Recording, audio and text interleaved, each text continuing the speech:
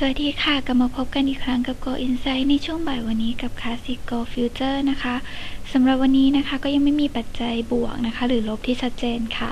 โดยเปิดตลาดมายืนอยู่ที่บริเวณ 1,749 US ดอลาต่อออนแกว่งตัวในกรอบ 1,747 ถึง 1,750 นะคะ ราคาทองคำยังแกว่งตัวในกรอบแคบๆค่ะต่อเนื่องจากเมื่อวานนี้นะคะ หลังจากยังไม่มีปัจจัยบวกหรือปัจจัยลบที่ชัดเจนค่ะ ทั้งนี้แม้จะมีข่าวดีจากการที่กลุ่มเจ้าหนี้ระหว่างประเทศได้บรรลุข้อตกลง เพื่อลดหนี้ให้กับกรีซนะคะ แต่ก็ยังไม่ได้มีแนวทางการช่วยเหลือที่ชัดเจนค่ะ รวมไปถึงเศรษฐกิจโดยรวมของยุโรปก็ยังคงย่ำแย่อยู่ จึงไม่ได้เป็นแรงส่งให้ราคาทองคำทะยานขึ้นต่อได้นะคะ ขณะที่ปัจจัยบวกจากการขยายตัวของผลกำไรในบริษัทอุตสาหกรรมขนาดใหญ่ของจีนได้พุ่งขึ้นอย่างแข็งแกร่ง ก็ช่วยหนุนให้ราคาทองคำยังคงทรงตัวในระดับสูงค่ะ ทีนี้ในคืนวันนี้นะคะ ก็รอติดตามดู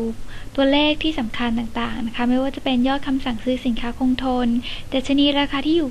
อาศัยในเขต 20 เมืองใหญ่นะคะ ดัชนีราคาที่อยู่อาศัย แล้วก็ดัชนีความเชื่อมั่นผู้บริโภค ดัชนีภาคการผลิตนะคะ รวมไปถึงการแถลงการของนะคะในเบนบานาเก้ต้องรอดูว่าจะมีผลอย่างไรในคืนวันนี้นะคะหากดูจากภาพกราฟทางเทคนิคในรายหนึ่งชั่วโมงก็จะพบว่าราคาทองคำนะคะ แกว่งตัวไซเวย์มาระยะหนึ่งแล้วนะคะ มีแนวโน้มที่จะมีการ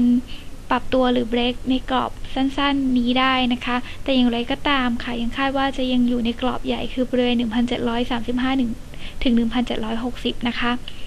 หากดูจากภาพกราฟรายวันจะเห็นว่าราคาทองคำนะคะ จะยังคงเคลื่อนตัวในกรอบสามเหลี่ยมนี้นะคะ ซึ่งถ้าเบรกผ่านไปด้านใดด้านหนึ่งก็มีแนวโน้มโอกาสจะขึ้นไปได้ถึง 10-15 เหรียญนนะคะ ก็คือถ้าราคาทองคำทะลุผ่านกรอบ 1,760 เนี่ยจะไปถึงได้ถึงบริเวณ 1,775 หรือถ้าเกิดร่วงลงต่ำกว่า 1,735 นะคะ ก็จะเห็น 1,720 เป็นต้นค่ะ